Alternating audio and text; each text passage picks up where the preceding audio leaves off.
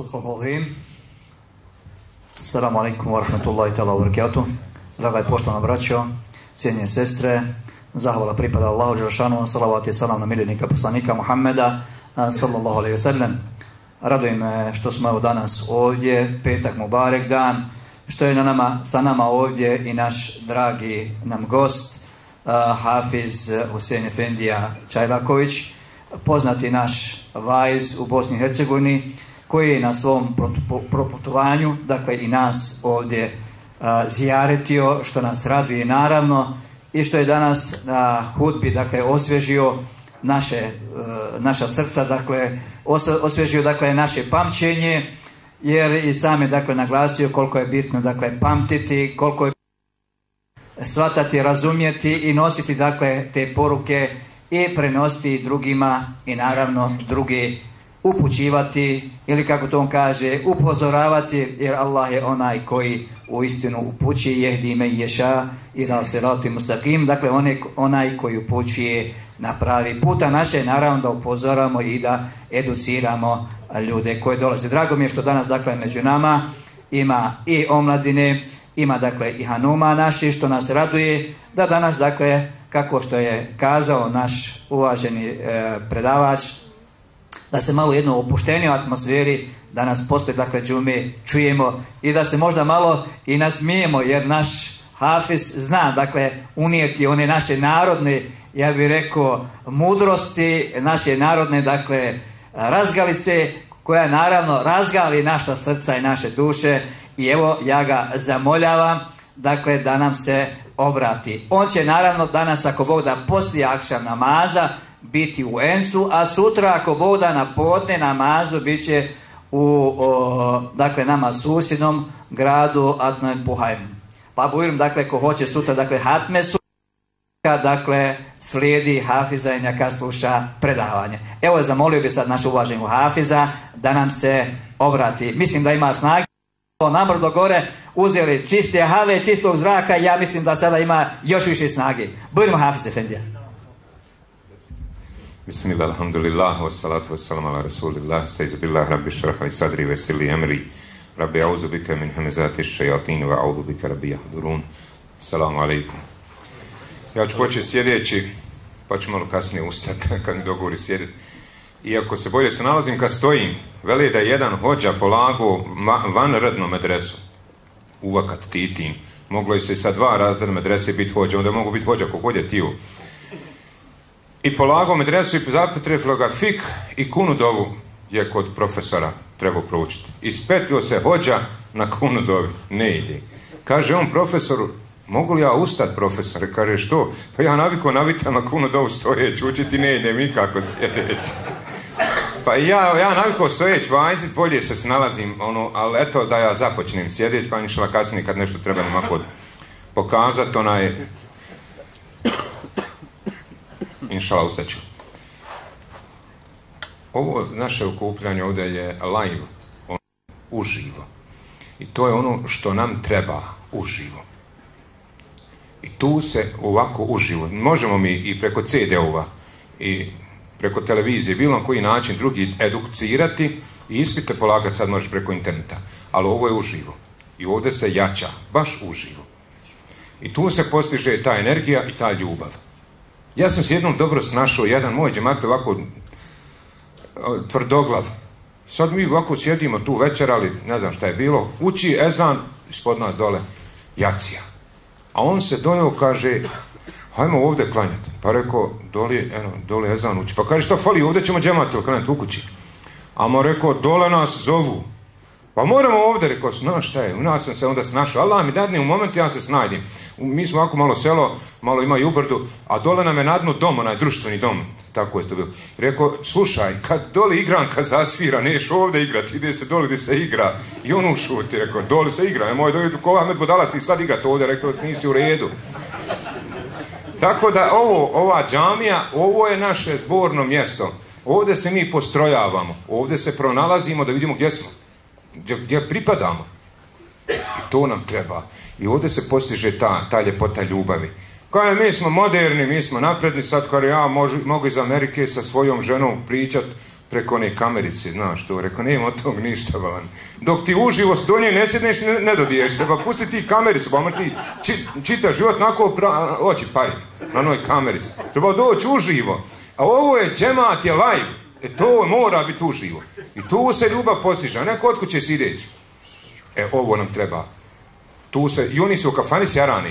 U šetanskom džematu, njima šetan uspostavi onu njihovu blizinu, a mi ovdje u Allahovom džematu. E to treba kazati našoj dici, našim ženama. Hajmo uživo da osjetimo ljubav. Uživo. A ko daruje ljubav? Allah. On je izvor ljubavi. E, ne moramo mi po čeifu volit kad ti hoćeš, evo ja ću sad sebi naručiti, ja ću tebe volit. Nema od tog ništa. Kad zaradiš, kaže čak pengamberus, kaže Allah, kad bi čitavim dunjalu podilio, la anfakte ma fil arde džemima ma allafte bejne kulubihim. Kad bi im sve dao, ne možeš ti njihova srca ujediniti.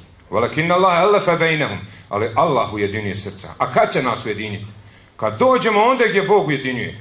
Gdje se to uživo dešava. Primjer. Jedan hadis, spominje se, u predaji, jedan je došao u jednu halku zikra za vrijeme poslanika, sallallahu selam, onako sjeo. Što mi rekli onako, bošnjački, onako. Ne radi zikra, ne, eto, doveli ga i on sjeo. I na kraju, kaže Resul selam, svi koji su bili u toj halki, svima je oprošteno. Pa kažu ashabi, ja Resulal, bio je jedan onako sidio. Šta ima za njega? Kaže, njemu je oprošteno. Šta mislite, što? On je onako sidio. E, onda sam to od jednog doktora fizike u Njurku naučio, Arras se zove jedan veliki alim, veliki vjernik, doktor fizike u Njurku predaje. I on kaže, mi smo energija, mi ljudi, energija, jedan prst kad se pretvorio energiju, kad je zemlju mi razniju. Mi smo energija. I onda se nas konto, s obzirom smo mi energija. Allah je izvor svega. I kad mi sjednemo u taj krug, jedan do drugog, mi smo u strujnom kolu. I onaj što je nakosio, njega je zdrmalo. Jeste razumili? I on je bio u strujnom kolu. I zato ja kažem danas na džumi, dodirivajte se. Nek ste u strujnom kolu.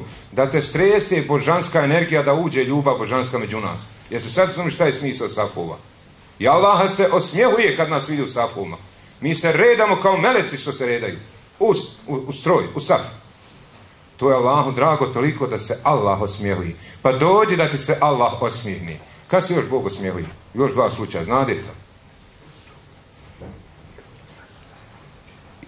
Kad se vojska postrojava u džihad i još kad iza noći ustaneš klanjati dobrovoljni namaz.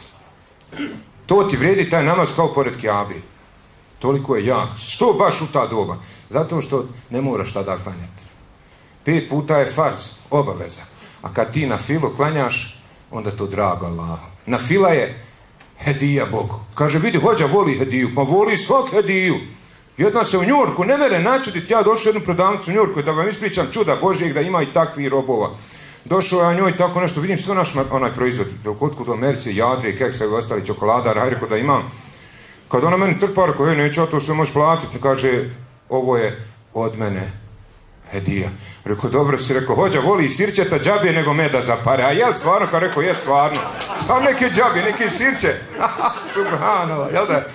A ona ne vjeruje da vjeruje, kao, jel baš tako, ma jes, pa i doktor i policija, svi voli hediju. I Bog voli hediju. A šta je Bogu hedija? Na fila, kad ti dobrovoljno klanjaš. Se sad razumiješ šta je hedija? Allahu. Ne moraš, a hoćeš. Eto, to je hedija. Allah, hoćeš dobrovoljno da klanjaš. E, na filama se još više Bogu približavaš. Ja njoj na kraju rekao da ti Allah namiri sto puta više što si mi dala to džabi. Kaže, nemoj, Boga ti, dosta mi je voliko. Rekao da i ovo najdem. Neće više, dosta. Nešto se više i ta trgovina, sve je to. Što je rekao jedan otac sinu, imao dosta dunjalka, imao kapital velik. Ovce, goveda, zemlju, uvakat. Kaže, dijete, boli glava i kad imaš, ali boli glava i kad ne imaš. Budi u sredini. Najbolje kad ti ne kriva. Ako god se najeriš, uskoraćeš se. Ne valja nikud se ušinješ. A islam je vjera sredine. Ono da ti ne kriva. E, hajde sad, najteže je pronaći tu Najteže je biti izbalansiran. I auto ako nije su gume izbalansirano, odnese. A islam te balansira da budeš ono baš uspravan. Zato naš Hafizović, doktor preveo ihdina ihdi nas sirat al mustakim, Bože uputi nas ne pravim putem, nego uspravnim. Da idemo uspravno. I zato smo tu da se učimo, da se ovako educiramo uživo, da bi znali gdje smo i da bi išli onako kako Bog zapovida. Ja ću vam večeras nekoliko ajeta prevesti, pa šta Allah pošalje u sto. Ja zbog ovih kamera moram pričati sve različito, neki ovako vajzu se uvijek isto priča, moram sve različito pričati, da ne bude, ovo će biti na internetu, pa neko ovo je stalno jedno te isto priča. A rekao je Burek Efendija naša na Alim u Sarajevu, kaže, hoće se isto u kokoši. Nosi jaja, nosi i nestane, popet ponovo. Nako izvajdiš popet, a iz početka. Ali evo ja neću isto, ja ću pokušat, mora nešto biti. Ko će se spasiti i na ovom i na onom svijetu da provedemo neko, ovo smere i telezi mogli bi njega tumačiti. Ali eto što Allah večeras dadne da pričamo, da ne bude baš ono precizno, oficijalno tako ovo ste izbila suri mu'minum kad eflaha mu'minum, nekoliko kategorija, pa da vidimo ima li nas igdje tu, hoćemo se spasiti. Pa kaže Allah Đelšan na prvom mjestu koji će se spasiti i ovdje i na onom svijetu je Alladina hum fi salatihim hašeun. Oni koji su u namazu skrušeni. U namazu. A ovdje je rej teleziju, evo ovdje imamo Ishak Efendiju koji zna dobro arapski, ja nisam neki arabist, evo i Efendija, vaš Efendija ovdje zna dobro arapski, odlično e, ovo sam sa jednim još alimom komentarisali, favejlo lil musalin, kaže teško klanjačima. Kakvim klanjačima? Kako će biti teško klanjačima? Kaže, koji su nemarni u namazu. Ovdje je rečeno an salatin, koji su od namaza nemarni. Recimo sad, ti vidiš kindija upeta, ti klanjaš u, u osam. Znači, tebi je svijedno što nisi na vrijeme klanjan. Ti si od namaza nemaran. Allah moli da mu se dođe na vrijeme. I tebi cura kad rekne, hoćemo se naći u sedam, i ti došao u sedam, ona došao u osam. Šta ti reš toj djevojci? Ma ne fermate, baš nije briga što nije. Ako te voli, ona će doći prije vremena. Ako te ne voli, baš kad god dođi. I ti šest, ma kao, šta ti foliraš? Tu nisi na vrijeme došla. Imaš ti nekog drugog. Jeste razumeli? I Allah je ljubomoran. Pa hoće da mu na vrijeme dođemo na sastanak. A namaz je sastanak. Pet puta nadam te treba s Bogom sastati. I raz, razgovara sa njim, njegovim govorom. I to je najuzvišeniji sastanak. I zato su teško klanjačima koji ne gledaju jesu na vrijeme došli na sastanak. Ti kažeš, ću kasnije, pa ko ti kaže, možeš ti živi do sedam. Kaže, dok dođemo odnekle, možeš pognuti u putu. A mogo si tu klanjati. Pa de na vrijeme obavi namaz. Na vrijeme dođe Allah da ne bi izazivao Allahu u ljubomoru, jer Allah nas voli više nego majka svoje dijete. Ali ova prva kategorija u ovoj, ovoj verziji koju sam nas započeo nije rej telezi, nego koji su u namazu skrušeni. Znači kad s Bogom pričaš, da znaš s kim razgovaraš. I zato ću ja ustati. Sada da demonstrujemo ovaj, ovaj, taj skrušen tu, taj styling, kako s Bogom pričamo, koju, koju poziciju zauzimamo kako sa Allahom razgovaramo. Zato je, to je vrlo važno.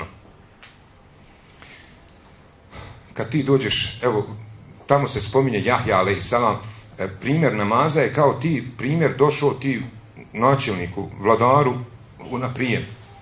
I ti si i vladar te primio i pričaš ti sa vladarom, a nekud se okrećeš.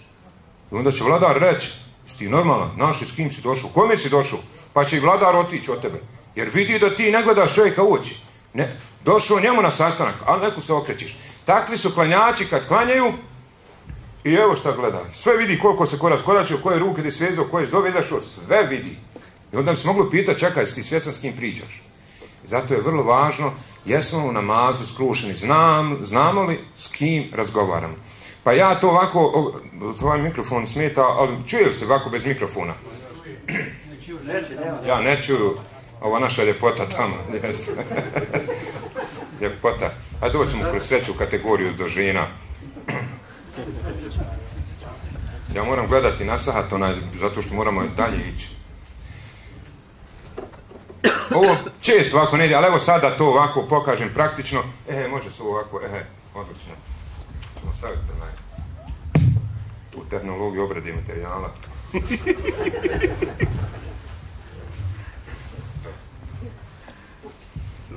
Bitan ulazi u namaz, najbitniji. Ovo je početni tekbir. Ja to obično objašnjavam, namaz je i razvijanjem šića, pored te duhovne dimenzije što ima namaz, da znamo s kim pričamo, jeste i ova predaja. Kad neko rekne ruke uvis, jer vidiš, ono, ne trebaš ići na fizičko. Ovo je koliko puta danas bi trebao ovako. I što se bolje predaš, sve se bolje predu. A i bolje treniraš. I zato ono, kad neko rekao ruku uvis, ti ovako dođeš. Rekao, predaj se, ruke uvis. Digni ruke, znači znali, jer sumnjivi se ako se nisi dobro predao. Zato smo mi Hanefije da ušiju predamo, jel ono, baš se muški predamo. Jeste razmišljali šta je predaj? Bez komandi, sam, Allah, Bog je najveći, predaj se. I ono, digneš ruke. Zar ovo nije doživljaj? Bez policije, bez napada. A žene, one su strašljive, one se ovako Pa nemojte vi biti žene, vi se muški predajte, razumili? Ono malo vi, a ne, malo se šalim, ali istinu govorim, ali ne valja da žene, kad bi se žene ovako predale, ne bi valjalo da nije ni konstrukcije, na, žena ima to što ima. Znate, ljepše da žena sakrije svoje grudi da se preda. Pogledajte šarijate, fleksibilitet, ljepota nad ljepotama. To je veličina šarijata. I zato žene meću ruke na svoje grudi da sakriju svoje grudi. A mi muškarci možemo mi i niže da se predamo. Ali slušaj, kad ti rekne, veži se, pa sveži se, di god hoće, sam sveži se. Taj ima, sad nećemo sad raspravati di se svezu, jesi gore, dole. E, to je veličina, sam si se svezu. I onda, kad razgovaraš s Bogom, hoćeš li doći ovako, znaš, kako ti, ti si hrabar, to tebi ne treba nešto puno, pa se ti ono, baš odvažno ponašaš. Neka i toga. Ali ja znam nas, kad nam nešto treba, kad tražiš čovjeka para, zamba, ti se skrčiš i ono tražiš, tako si ono skrušen, skrušeni smo pred čovjekom, nek pred Bogom. Treba ti malo para, pa eto i zaplaćiš, daj, vratit ćeš i tako. Pa i kad s Bogom pričaš nek, neko kad te skrivenom kamerom snimao pa da vidi da ti ovom čovjeku stvarno što treba. Znači potreban je. Da vidiš da čovjek klanja s nekim priča, ozbiljno. Gledali ste ne budiste kad on sjedne turski i ovako, osam sati oni dnevno meditiraju. Pa s kim on priča? Ne znam ni on. Ti znaš s kim pričaš, sa Allahom razgovaraš, njegovim govorom, nema bosanskog, nema njemačkog, Allahov govor. I to je ta veličina namaza i da shvatiš da će ti biti namaz primjen i da ćeš biti spašen ako budeš haši un, skrušen u namazu. Jedan je tako uklanio brzo pa nema, kaže da je njegovo srce skrušeno, bilo bi mi tijelo skrušeno. Znači, zavisi iznutra kakvi smo, hoće nam tijelo biti skrušeno. Ti čovjeka kad na putu vidiš, ma kad ide, znaš kad neko ide ono pa ovako kad pođe, ti vidiš najmo da se ono hoće, puše se. Ovaj, tako i čovjek kad klanja vidiš jel on stvarno klanja ili onako, ajde, iako je, recimo, Hazret Tomer, kada vidi čovjeka da brzo klanja, kada je ponovi namaz, on ponovo ne valja. Kada je ponovo, potreći put. Sporije, kaže, klanja. On, I onda baš ono sporio, kaže, vidiš, blan, vidiš, tako je bolje. Kaže, jes, tako bolje, ali ono je, zbog tebe, Omer, ono bilo radi Allahu, a sad zbog tebe što bi ti naredio. Sad sam morao polako, kaže ti ono Ono je bilo radi Allaha, pa neke i brzo, znaš.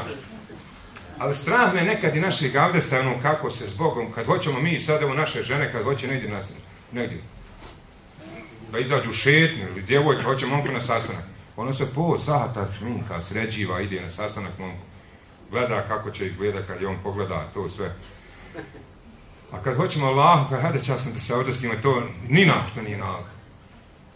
Veli, hajde more, pa gledaj kad se sam u kući, kako bi volio da te neko od ljudi vidi kako te, kako te Allah gleda, imaš li fine pantala. Abdullah ibn Mesud kad bi ti Kur'an učiti, on bi se fino obuku, veli Allah me vidi. I to je najveća pobožnost, kad si sam da zna da te Allah vidi. Pa demalo radi Allaha se sredi. Hazrete Iša kad bi davala sadaku, bi je. Pa je pitao što miruhaš sadaku? I, pazi, miruha onu, onu paru ili onu, onu hediju što mi daje sirotinji. Namiruhaj. Pa što on mirišeš to? Kaže, prije će Bogu stignut nego, nego, ruke sirotini. Allahu će prije stignut. Pa hoće da bude namirisana. Vidi njezinog rezona, gdje ona ovo mogla naučiti. Nije u nijednu školu nije završila. Ali imala univerzitet Pengamberoj, tu je naučila. To je najveći univerzitet. Kad učiš u školi Pengamberovoj. I mi trebamo pored svih ovih fakulteta imati Pengamberov fakultet.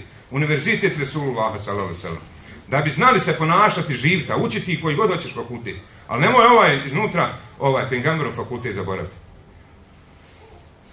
E to je ta prva kategorija koji su posad, kad bude klanjati, bar ovo negdje kad, hoćeš klanjati, na ti nam padne ovaj početni tekbir, da se svežeš i kreni. Pa kud odeš? No, me otićemo mi svukud. Ali počni kako treba. A od početka završi i svršetak. Kako započneš, vrlo je važno i kraj će ti biti dobar s Božjom pomoći. Moraš ti otići, ali ćeš se vratiti, jer si ušao kako treba u namaz. Uđu u džami kako treba, avde se kako treba, izvrši pripreme. Pripreme su vrlo važne. Za bilo šta, evo za bilo koji projekat, važne su pripreme. Pa mi imamo pripreme za namaz, ali slabo se pripremamo. Drugi su, evo mogu ja sad ponovo sjesti. Valadina hum ani lagvi muaridun.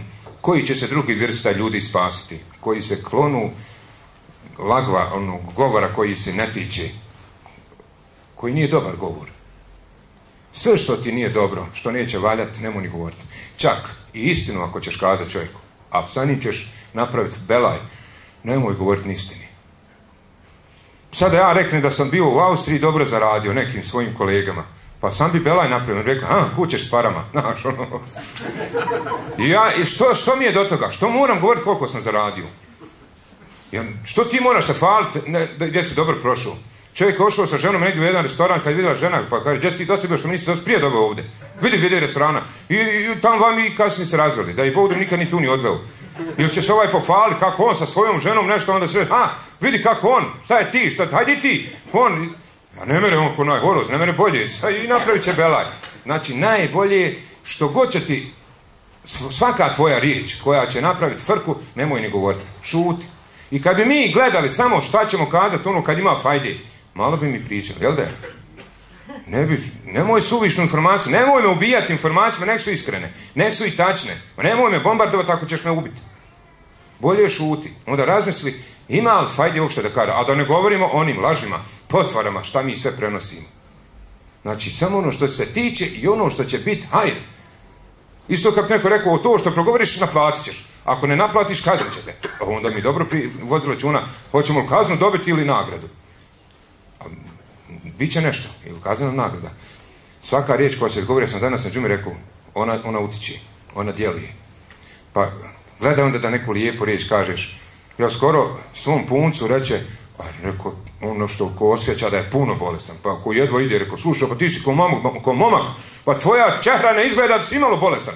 Juj, kad se on ono nekako osjeti fino, on je vas dan bio dobro. Kad ja reče, ti ne izgledaš, nisi ni nalik na bolesnika, da ti vidiš kako bolesnici žuto, ružno izgledaju. Ti si dobar.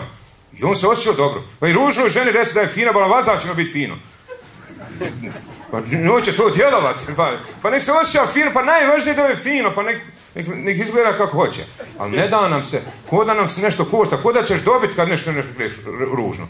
Ko da ti šetne, govori, da, da, da, da, reci ono što ne trebaš reći. I ja počesto prilati i rekne, ja sam budala, pa kad ću opametiti više da pođem govoriti samo ono kad treba da govori. I ono što ima fajde.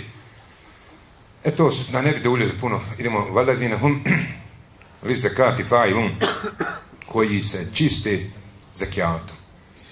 Znači, sve što ti je višak moraš ono 2,5%. 2,5% treba dati. To ako ne dadneš onda si lopov. Uprljio si svoj metak hakom sirotinskim. Ti kao ja sam mu zaradio. Nisi očistio. Mivka kad se potkreše, ona se skrati, ali bolje rodi. I ti zekaj kad dadneš, osiguraš metak i Allah će ga povećati. Ali nemoj da sumnjaš. Ko ne daje zekijat, ne primam se ni namaz. Bog i kada hoće se spasiti vatri, džehennema. Zekijat je najizbiljnija stvar, to je posebna tema, to se uz Ramazan prilike daje. Izračunaj ako imaš nisa 5-6 hiljada maraka godinu dana u zlatu, srebru, u bilo čemu, 2,5% odvoji. I sad ćemo kada kako je čovjek zaradio džennet. Kad je on mogao toliko, moramo mi 2,5%. Sanja, čovjek iz Kuvajta, čovjeka u Rijadu, da je dženetlija. Tri noći ga sanja. Živa istina, ovo sam na internetu našao, motivi naći.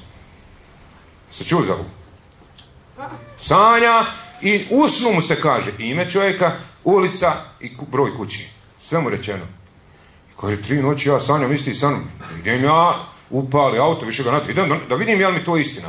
I baš nađe ulicu i čovjeka i taman potrefi. Prema svom snu, pogledajte šta je čovjek u snu Jesam ti taj jesam. U kuću sjeli, kaže, ja te sanjam tri noći. Da si dženetlija, kaži mi, molim te šta radiš. Kaže, normalno, koji svaki drugi muslimani. Imam jedno dijelo možda zbog toga. Kaže, koji? Komšinica, hudovica, ostala sa djecom, već sedam godina, ne dva i pol posto. Polovim platu, kad god dobijem platu, kažem ženi, pola nosi komšinici. Pola, sedam godina. I nije mogu više živjeti od sedam dana kad je to saznao. Da, je, da ga je on sanio da je džene zaradio. A to je džihad. Pomoć hudovicu, onaj, kao borac na lahom putu. A ne ono kako barabe kažu da je se sevap javt hudovici. Ono kako oni to govori. Ja znam, zna koji oni sevap misli. Nego, pola plati, pa kad je on mogao pola plati, moramo mi dva posto da samo očistimo, da ne budemo lopovi. Zato Allah kaže, valeden humle zekati fajum koji se, znači čiste, koji daju zekat. I zapamtite, ja se sa sobom treniram. Svi smo mi škrti. Insan je škrt po prirodi. Kad mu Bog s nebesa spušta, eto s neba padaju pare na fak, on bi opet škrt bio. Insan. Zato što se boji, nestaće. Insan je škrt. Allah nigdje ne kaže o ljudi dijelite, nego o vjernici. Zato si ti vjernik i vjeruješ da Bog daje i neće nestati. Zato dijeliš. Jer onaj ko je škrt, neće nikad u džennet. Neće, jer Alehi salam kaže u hadisu, onaj, kad je Allah stvorio džennet, ukrasio ga, ljepote džennetske tamo što je stvorio, i onda džennet rekne, blago onom kome ne uđi. Allah rekne, tako mi moje veličine, u tebe neće škrt. Jer škrt skriva istinu, skriva Božje nimete. Allah ti dao, ti skrivaš, pa, pa ili kad ti neko dođe u kuću, iznesi nek vidi svit. Evo sad pričam ovome što ćemo večeras kod njega na konak. Ima ga ovdje? Evo ga. Evo vidi, Allah ga počaci, on je veliko. Gledaj što je on zaradio. Jedan ashab je toliko želio, ovo da javno ispričam, toliko želio da ma pengamber dođe sa ashabima na ručak, a nema mu šta počastiti. Nemaju ashabi, a želio da mu Resul dođe da ga počasti. Nema čim. I pengamber mu, pengamber preko Džibrila saznao da on ima želju. I kaže jedan dan posle podne, idi reci ženi, eto nas na ručak. On ima sam rostra, šta će jest? Kaže, ženo došao u kući zadihan, umro ostra. Šta ćemo? Kaže, pa ako je pengamber kazao, bit će hajr. Bereket mora biti, pengamber dođe, što pengamber poruči. I bio je bereket, znaju su se svi. Od čaše mlijeka, od šolje mlijeka, svima bilo dovoljno i ostalo. Ali šta mu je rekao, alaih salam? Gledaj kad ti dođemo u kuću, šta ćeš vidjeti? I kad ti izađemo iz kuće. Gledaj nas, posmatraj našu sliku. I gledao je, i kad, kad je sve završilo sutradan, pita alaih salam, šta si vidio? Kaže, kad ste mi ulazili u kuću, na vašim glavama sam vidio sofre hrani. Pogledaj šta Allah daje kad ti dolaze ljudi u kuću. Musafiri. A kad ste izlazili, vidio sam nosite pod pazuhom lešinare. Onu, nečistoću ste iznijeli iz kući. Tako mi Pengamber rekao. Zato u našim kućama više nema ljepote, nema ljubavi. Niko nam u kuću ne dolazi. Hajmo u restoran, hajmo neka restorana. A zovni neka Jukić kaže, ženo, hajde nam dođe, bereket, blagoslovna faka. Da nas malo očiste ljudi. Ko nas više čisti? Ne da se, ne da se, samo što ne je mrsko, nije što nemamo para. Pune su kuće svega. Nemamo će sjest više i klanjati. Evo ovaj dobio veliku stvar da musafire onaj, prihvati još da mu noći i tako dalje. Kad je dok god sofra stoji, meleki je blagosivaju. Ma ne mene izgubiti, kao ni zekat kad daješ. Ali šetan govori gotov si. A cigare svaki dan možeš puštati. Nikad ne kažeš ti lud. Dok ćeš puštati, jer se truješ i pare daješ. Kad bi sadaku dao, rekao, dobro više i te sadake. On nam rekao, je, pa izgubit ćeš, gotov si, propao si. Svaki dan dana dvije marke. I kad trebaš, evo danas sam govorio, ako trebaš knjigu kupiti, e, gdje ćeš dati za knjigu 10 maraka, to se ne jede. Ili za ovaj DVD projekat koji ćemo, evo, naš Efendija Stanskog mosta predstaviti, e, da Allaha slušamo, Kur'an, njegov govor, Gdje poskup, ali kad ti kažeš ja rabi radi tebe to čini, pa će ti Allah povećati ljubav prema Kur'anu, pa će ti i na faku povećati. Ali ako ne idem, džaba ti piše ulaz izlaz. Svuno ti piše, nema para. Kad Allah daj, ba idi. Ne vidiš kad ide. Evo ja sam, ne moram misliti kad samo Allah dadne zovnu me, ovdje, tam, vam. A kad ja sad konto, di će me ko zovnuti? Možda me ne bi nikad zovnuli. Ali kad Allah hoće, hoće i ljudi. Hoće i rejs, hoće i poslovođa, svi hoće. Ali treba vjerovati. Znači, koji se čiste zekijat. I dalje, veledene huli furhuđme hafidun i oni koji čuvaju svoja spolna, svoja polna mjesta, ona stidna mjesta, polne organe. I ljudi i žene. E to je ono što je najteže se čuvati. A zanimljivo, kaže Resulaj Islam, ovako je citirao hadis. Ko mi garantujem za dvoje da će se čuvati, ja mu garantujem džennet. Ono što je među vilicama i što je među nogama. Oba dvoje skriveno. A najviše se sa tim griješi. Jezikom tarlahamo, a zinam vidimo da, da, da, skriveno, a najviše sa tim griješi. Zato je rekao što je među nogama i što je među vilicama. Pa blago onom ko se uspije sačuvati ovoga, a ovdje su više krive žene, kad su pitanje, kad je pitanje zinalog. Kad je pitanje zinalog, više skrive žene, jer njih Allah prvo spominji. Ona izaziva. Da su one, ono, propisno obučene, manje bi zazivale. I zato bi bilo fino da žena shvati da ne bude uzrok nekom gleda ko će gledat. Šta te briga ko će gledat? Ali nemoj da ti budeš uzrok da on mašta o tebi. Jer, evo danas me pita čovjek, evo sad me pitu iz Graca, može li naći žena gologlava? Reko, mogu bi odmah pitat, more klanjati gologlava? Ono, može biti gologlava kad klanja zavijest? Može posjet? Onda mogu pitati, mora li živjeti žena gologlava? Ali ona koja je loše obučena, Mora ona nađe otići, može ona i klanja, sve to stoji. Allah šta će biti sa njom probiti i tako dalje, ali ako ona izaziva, ako se još namiru, pa ono, razgoličena, pa ali se on kaže fekat zina, je tako? Jel? Ona, ona je već kao zinalčarka, kao prostitutka. Ne mora učiniti znak, ali je izazivala poglede ljudi drugi. Pa obuci se fino, pa se svom čovjeku ono, razgoliči, kad on dođe da vidi ljepote, ne stuhu u prikazu u kući, da, ne može ga odbijati, neko kad dođe čim je pogled, ma bi se vratio nazad. Nema šta vidjeti u kući, pa mora tuđe žene gledati to bez takrova. Treba se namiruhati, našminkati, ono da bude izazov kad čovjek dođe u kuću, a ono, u nas je obratno, u kući mora biti, kad se zagalači ono, kad nešto sveže oko glave i onim onoj trenirci, ne, ne, ne bi je pogledao, ne bi godinu dana žene vidio. Nema šta vidjeti. Trebalo bi malo da izgleda ono... Ali u nas je to obratno, onda bi se mogli komotno pitati i sebe i nju. Kad se ja našminkam, na, na, ono, na, na sredim, radi koga se redi? Na miru, recimo, naš, ono, žena kad se sredi. Radi koga? I zato je rečeno u onom hadisu, najbolji su oni koji su najbolji svojoj porodici. Što? Hajde vidim kako razmišljate. Što su najbolji oni koji su najbolji svojoj porodici? Oni su najbolji. Zbog čega su oni najbolji? Zato ako žena ti kaže da valjaš, ako si kod žene fin i njoj se sređaš ili žena tebi, onda sigurno valjaš. U nas je obratno. Ja, recimo, primjeru neko, sad ovi naši političari, naši ovi, medijske ličnosti, pa on se sredi, pa ti kad njega slušaš ovako negdje na bini, negdje u društvu, rekao ovo je melek. A kod kući, kad na ženu svatri i na djecu, mrš djecu, šta ti, znaš, ona, pa on nije nalik na sebe, da li ga je sli, krimenom kamerom snim, pa vidiš kakav je u kuće, kakav je vam. Pa i naše dame kad idu na posao, one se srede, one su dole učitelje fine, a čovjeka kad pogleda, moga s nogu obara. Da Bog sačuva kako ga ružno gleda. Kad se na njega drekne, šta, šta hoćeš? Ko onaj hudnjak došao, Kare, žena daj mi kahvu, on došao s posla, kare, možda ti je do kahve, ja vas dam kahvu pijem. da Bog sačuva, on se ne pije kahve, ne, ne treba ni njemu. Trebamo biti unutra dobri, unutra da, da bi zaradili ovu ljepotu.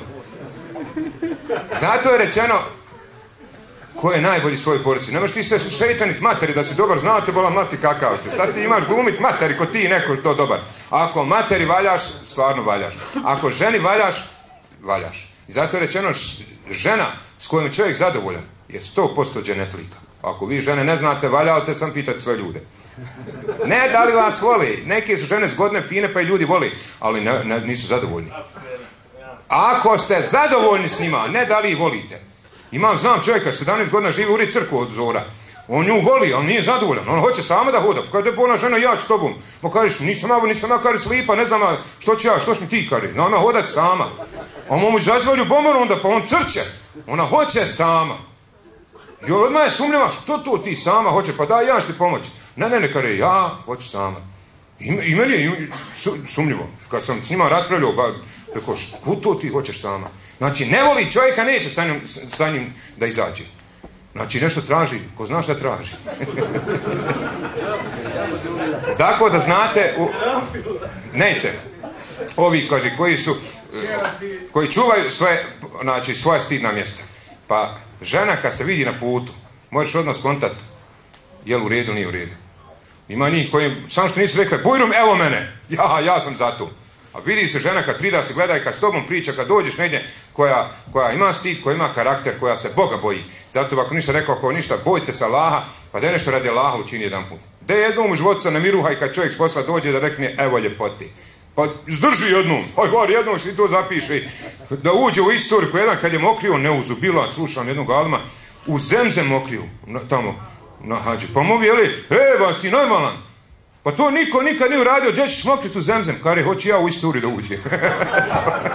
Ljudi hoće u istoriju. Uđite i vi u istoriju jednom, se okreni radi čovjeka, ne miruvaj se kad ne rekne šta je ovo da nije nešto se desilo.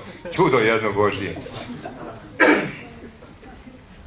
I još jedna kategorija, veledin humli emanatihim wa ahdihim ra'un, koji ugovore i emanete ispunjavaju.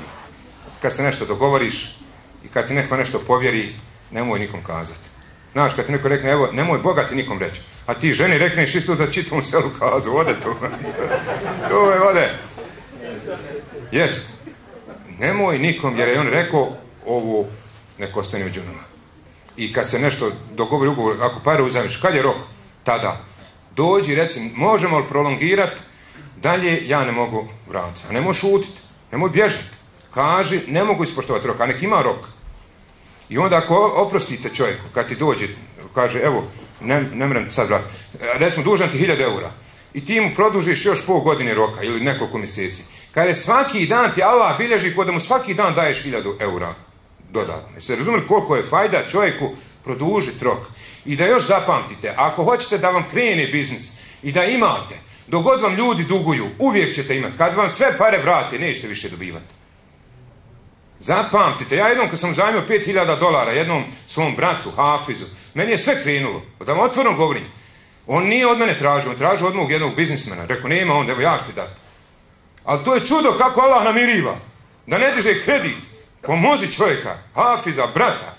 Ali mi nekako ne... Ja nekako nisam čak ni roka. Vrati kad vrati. Ma ja ću mi halaliti me Boga zato što mi je sve krenulo. Volim ga i mogu mi halaliti. Ne moram nikad ni vratiti. Taj pare su džubre. To je voda. Taj imaš se tu toliko sekirati. Kad Allah daje namirići se sto puta više. A kad ne ide, zato nemojte puno bolovati, ko ti je sve dužan. Ima sudnji dan. A i na dunjalku ćeš ti uvijek biti gornjom donji, ako ti neće vratiti. Nemoj misli da onaj što laže i što neće dugove vraćati, on će propasti. A tebe će Allah uvijek pomagati. Ti još uvijek posla imati. I nemojte previše ni moljakati. Allah bez računa daje. Eto, mi smo ovdje, ja sam sinoć rekao u Gracu, kad meni neko nekad rekne, ono, narod neće slušati, ti priču ne priču. Pa kaže, hej moj Hafse, što ti džaba ovom narodu pričaš? Rekao, ja za pare pričam, ne pričam džaba. E, večeras vam pričam džaba. Razumijeli? I danas, znači nisam došao ovdje po pozivu da mi date 500 eura, kad me neko zovne pa toliko dajem. Došli smo bez ikakve obaveze i da budem promotor ovog projekta Nevros Efendije, tog uh, eksperta za ovaj projekat koji se uradio čak u Hong Kongu su dio, dio rađeni. Pa iz ljubavi prema Kur'anu uzmite to da u kući pustite ovako, ne sam bekaru, kod po redu neka DVD-ove puštate, nek vam uči Kur'an u kući, da rastra malo šetanuk. Jer Kur'an je čudo. To su mogu vidjeti kad se liječe, što, se, što im se odučava. Ako u njemu nešto ima što nije dobro, ja sam rekao jednom, valjda nije čovjek zdrav, nije on kaže, ja kad Ezan zauči, kaže, meni hoće tri kuće, ja, ja, kaže, ako bi ja crku kad Ezan bude učio, ako bi umro, nemoj da mi dženaza se klanja, toliki mu zor, rekao, ja idem da vominiram džami, sve, Ezan se mora čuti. I to je čovjek u škodi Ezan, kad, kad bi mi mati iz mezara ustala i rekla, sine, ili voliš da ja živim ili da umrijem, ali da se Ezan neće. Ja bih rekao, mati, umri, samo se Ezan neće. Toliko mu škodi Ezan. On je šetanov brat. Jer šetan škodi Ezan, on bježi dok se god se čuje Ezan. Pa i Kur'an kjafrima škodi. Sami već već u šerbu, povećava. Zato pustite taj Kur'an, ovo je 60 eura. U 160 eura imate od mene knjigu svih vremena top knjigu, danas su već neki uzeli, ali 15 je uzelo. Tu imate pet mojih knjiga. Nije ta ova. Izabrani vazovi. Uz ovu knjigu još dobivate kao poklon i dva moja CD-a. Jedan je CD vazovi moji, a drugi učenje. Onako to ja mogu malo učiti ono koliko će sureta, jasine, zane, kad si idu na majice što fino idu. I nju možete ovako pustiti onaj nekad kad putujete tako dalje. Znači ovu knjigu sa dva CD dobavite kao poklon uz ovaj DVD projekat 60 eura. Ako nema 60 eura ili mu je teško dati, žao mu dati, ne znam, ja ne ulazim, meni neka žao. Nekad i dadneš pa se pokaješ i onda ti je teško dat Bog sačuva. Najteže je kad dadneš pa ti sve rekli još što si da mogu si pola. Mogu si ništa. a već dao, a gotovo je. Zaboravit ćeš, ajde i će proći. On straši, straši da Bog sačuva. Ovo je, evo knjiga za 10 eura, ne morate, tu je malo manja opcija dobre djela, tajna uspjeha, ako nije danas uzeo sto tema dobri djela i neki dova zaštitnih, opštih dova. Ako ste u dugu, znaš vam dova za dug, za brige? Tako mi Boga odužit će se uštetu u dovu. I nećete biti dužni. Davat ćete u zajam. Ja 15 godina tu dovu učinim, izjutre na. To je 15 sekundi. Pa ušte, pa ne što uzmi praktično, šta hoš nakon da dobivaš? I imate još drugu opciju, 4 CD-a za 10 eura mojih ovako mini dersova. Preko 100 dersova, kad kreniš za Bosnu, stavim, a umjesto one bezvezne muzike, nako ti uho puni glupostima, šetanukom, stavi CD pa će naslušati se raznih primjera ovakvih životnih, životnih priča. Eto, znači mi smo došli sa ovim ciljem, da ne bude ono, e, ja došao ovdje, ono samo, eto, radi sevapa, sve je u sevap. I kad ti naplatiš i to je sevap. Pošteno, fino. Harrame riba. Allah je dozvolio trgovina, zabranio kamatu. Kamata je problem. Ebu Hanife je bio trgovac. Ebu Hanife, taj veliki imam. Šta to se sad vidi loše u trgovini? Da ja vama nudim vi, nešto ne morate. Znači, to je beričet. Zato je Hazret Omer kad je vidio na pijaci strani trgovce, kaže šta ste ovo dozvolili? Trećina vlasti je u trgovini.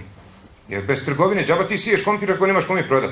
Trgovina je važna stvar. Pa i ova knjiga, ona je nešto što traje. Ona je vakuf. I ti kad uzmeš knjigu i kad umriješ, ostaće knjiga za tebe. Pa nek stoji nešto, nije to litar soka i keks. Poješće se i gotovo. A knjiga ostaje, pa neš se pokajat, neko će je pročitati. Dadite nekome ko je na granici, pa slabo klanja, reci, evo ti fina knjiga, da nešto pročita. Možda će on nekome dati. Uglavnom, sa knjigom ne možeš izgubiti. To nema roka trajanja. I privari šeitan, kaže, idem, ovo ja govorim zbog sebe i zbog vas. Da ne bude da ja to sam za vas navijam, ja i za sebe navijam. Onaj, pa ja, da ne bude ja svijetac, eto sad ja, ja, eto, samo hoću se vaka, hireski neću ništa od dunjalka. Ali sve to i ja ću nekom kasnije dati pomoći ovako tako dalje, Allah najbolje znadi. Ja volim ako mene nešto ovako da upitate, ili da ako hoćete da Nevre Sefendija nešto kaže, o tom projektu, kako su oni eks, ono, pravo snimali, kako to kvalitetno. Ali džabe, kome je žao dati kad ti njega su noć ubjeđivo, on, ne da, kad je jedan onaj bio u jednom mjestu pa puno prosjaka traže, pa kaže on čerke, čerko, ovdje se ne mora izdržati. Kaže, što babo? On stalno traži, a on nikom ne da. Kaže, babo, dok ti tako budeš radio, neće ti naškoditi. ja. Mogu ja svu noć pričati, ja ih ne dam ja, znaš. Jesmo zapamtili ovih pet grupa, jesmo svi ponašali. Hajde ponovimo. Koji su skrušeni u namazu, koji, šta je bilo drugo? Koji daju zekijat, koji se bezvezno govora onaj, jeste prođu, koji čuvaju svoja stidna mjesta i koji ugovore i manete ispunjavaju. Oni su vari su naslijedit će džennet. Kak šta će džennet naslijediti? Tamo će, gdje su trebali čifuti i kršćani, tu će ući muslimani. I da vas obradim, svi će muslimani u ko ima zehru imana, uće u dženet i znate kako će ući, ljepotom. Kad dođu u džehennem muslimani, bit će muslimana u džehennemu. I kad budu s kjafirima, zajedno će kjafiri kazati, pa eto muslimani, vi ste klanjali, vi ste poslali otkud s nama sad zajedno. Otkud vas nama? Allah čuje njihovo govori, Allah sveznajući. I kazat će, ljudito, svi muslimani izlaste iz džehennema. I onda će kjafiri kazat, rubema je vedu ledine kaferu laukanu muslimin. Da smo Bog do mi bili muslimani. Hvala Bogu kad smo mi muslimani. Salam alaikum.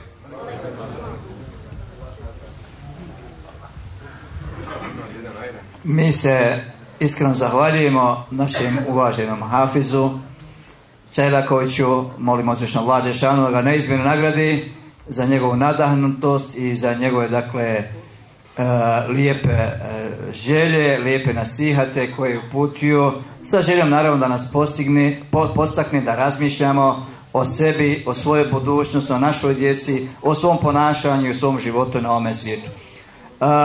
u, dakle, u planu današnjem je svakako i kratka prezentacija ovog projekta vezano za, kao što sam ja danas kazao, prvi bosanski prijevod Kur'ana, jer dakle ne trebamo čitati, nego samo slušamo.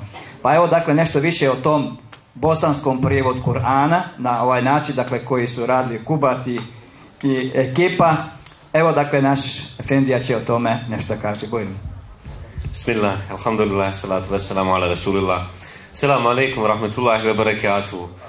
Evo, ja nešto bi trebao kazati, ali ispade nekako mi kuna Rudin hođa kad je kravu prodavao, pa nije išlo, pa na kraju onaj trgovac uzeo da proda, počeo falit. Kad je hođa čuo kako ovaj kravu fali, veli, kad je to tako dobro, neće ja nju ni prodavat. koji ja sad ne znam šta bi kazao nakon svega.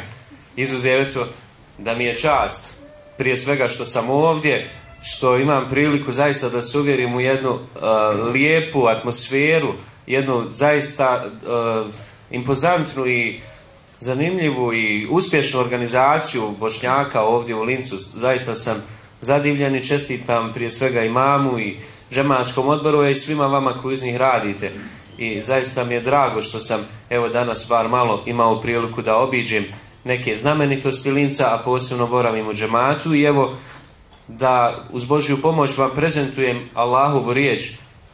Zato mi je opet posebna čast jer pored toga što mi želimo da prezentujemo projekat DVD Kur'ana, ipak je to prezentacija Božije riječi, jer on je rađen sa ciljem da Božju riječ približi današnjem modernom čovjeku i olakša jedan način druženja sa Koranom kroz čitanje, odnosno kroz slušanje Abdusameda koji zaista je jedan prestižan učač koji teško će se, Allah najbolje zna, ponoviti ponovo u, historiji čovječanstva. S druge strane, tu je prijevod doktora, odnosno akademika Enesa Karića i to je, čini mi se, jedini bosanski prijevod, onaj originalni bosanski jezik je tu. Tako da, e, evo jedna od možda zanimljivih stvari gdje ovaj projekat može da koristi posebno vama bošnjacima nastanjenim u dijaspori jeste pomoć pri e, slušanju izvornog bosanskog jezika, jer mnoga naša omladina polako zaboravlja jezik ili ako ne jezik onda dijalekat, a ovdje je korišten izvorni bosanski jezik. Naime, ovdje je 60 sati materijala, 60 sati traje Kur'an. Ovdje tamo, eto, nismo imali projektor i tako dalje, ima laptop, oni koji žele da pregledaju kako to izgleda, teško je to opisati. Možete slušati prijevod, možete isključiti prijevod pa slušati samo Kur'an, a oni koji su nekad znali učiti Kur'an pa zaboravili u donjem dijelu ekrana se ispisuju ajeti koje uči Abdosame, tako da možete i pratiti arapski tekst, odnosno ponavljati Kur'an. A u pozadini dok uživate slušajući Božju riječ, rastjeravate, kako kaže Hafiz, džine i šeitane iz kuće, možete se odmarati uz prelijepe snimke i panorame i džamije i prirodne ljepote vaše domovine Bosne i Hercegovine. Sve što bi mimo toga još kazao, ovaj, bilo bi previše. Jedino mogu još kazati da zaista je uloženo i mnogo novca i mnogo truda ovaj projekat koji je koštao blizu pola miliona maraka. Njegova izrada rađen je u Hong Kongu iz razloga zahtjevnih, znači zbog kvalitete i ostaloga. I distributer je, odnosno ovaj, izdavač je odlučio da snizi cijenu i da ide, jer sada mi direktno, evo, kako dolazimo, tako prodajemo, nema nikakvih posrednika između nas, tako da je cijena promotivna ova 60 eura, iako jel, preko distributera je to ranije išla i skuplja, razumljivo zbog prijevoza i ti nekoliko još ruku, ne znam kako već to ide, izlažila je i preko 100 eura. Sad je promotivna 60 i još uz to dobijete ovo zaista jedno kapitalno djelo našeg hafiza, sve što sami biseri, primjeri životni od kojih sigurno ćemo se okoristiti. Toliko od mene, hvala vam još jednom za pažnju. Salam alaikum rahmetullahi wa.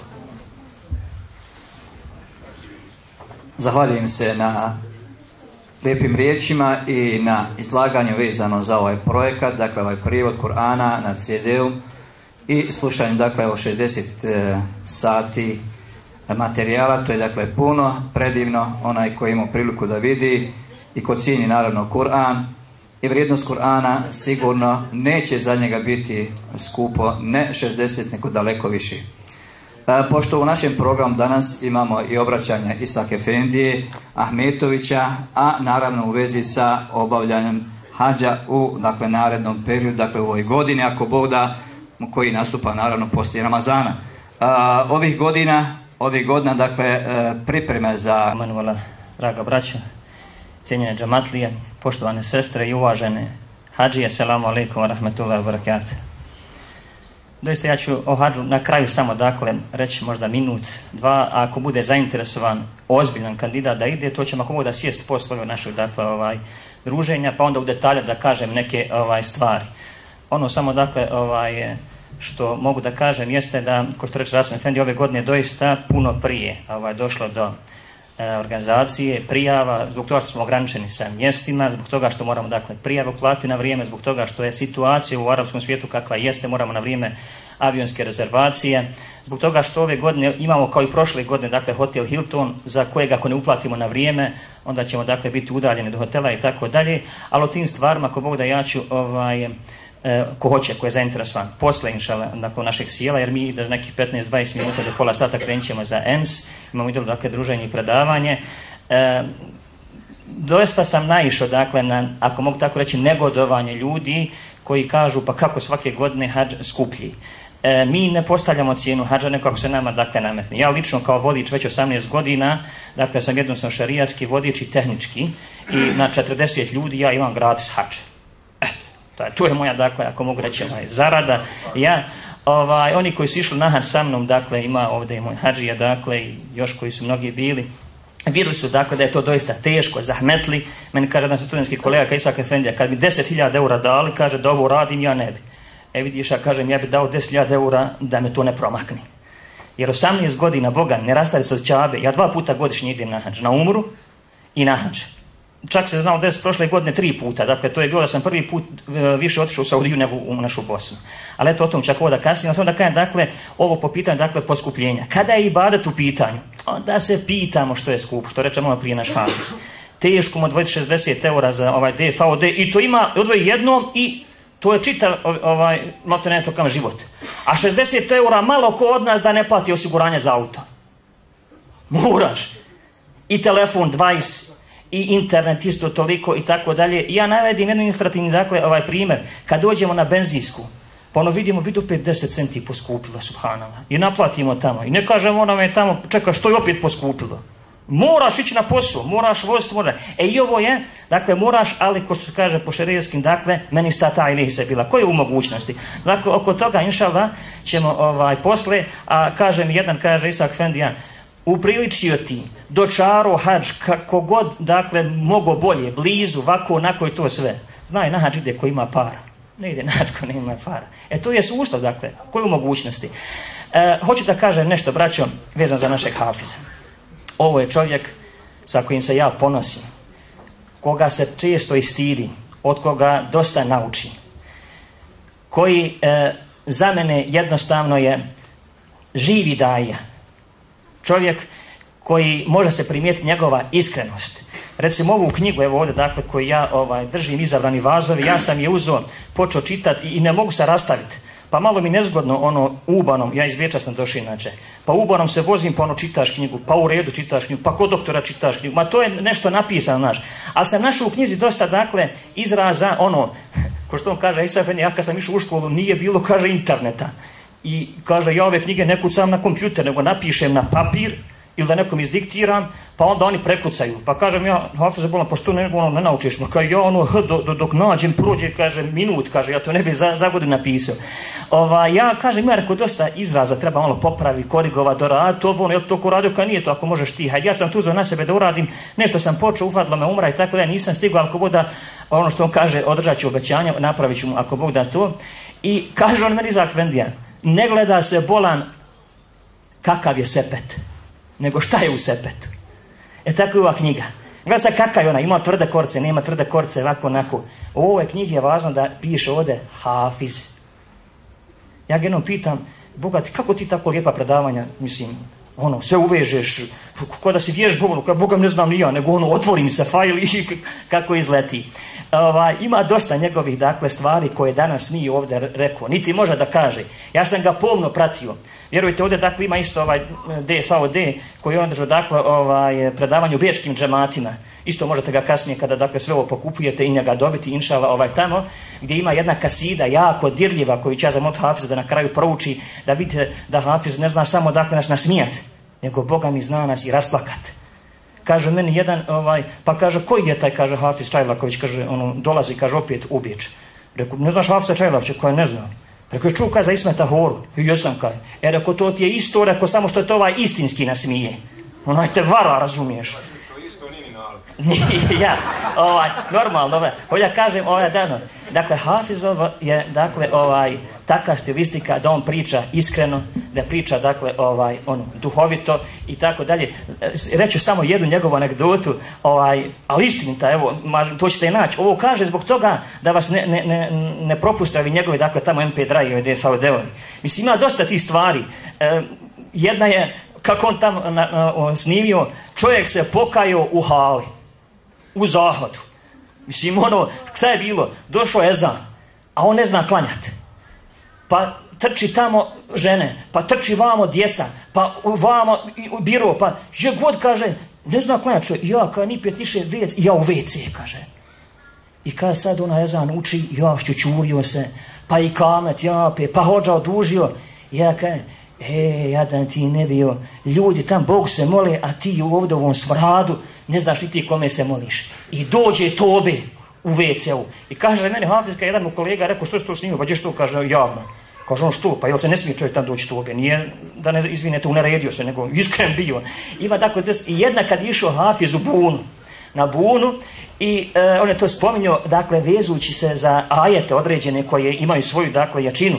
Kao što je sura, na primjer, Elem Telekejf ili neki ajeti sura Jasni i tako dalje. Kaže, kad proučiš sura Elem Telekejf, iskreno, sasvica doista ima svoju snagu.